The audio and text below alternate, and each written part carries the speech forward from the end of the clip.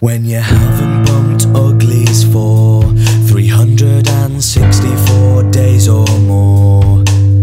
Cause the foreskin on it's sore. And the girls aren't as easy as they used to be. And the girls aren't as easy as they used to be. The girls aren't as easy as they used to be. And you've shit yourself again.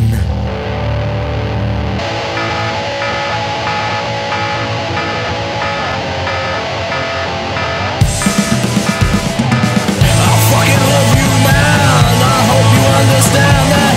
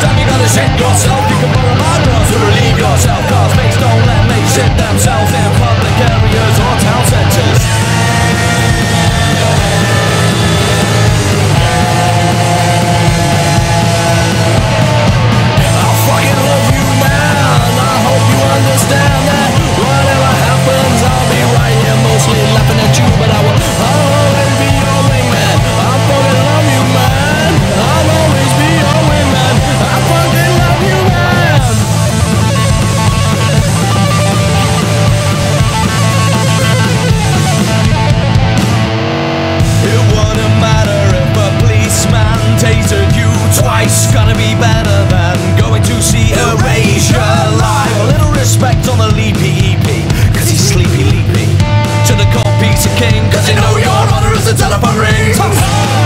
Compensate funny, even if you do it on an empty tummy.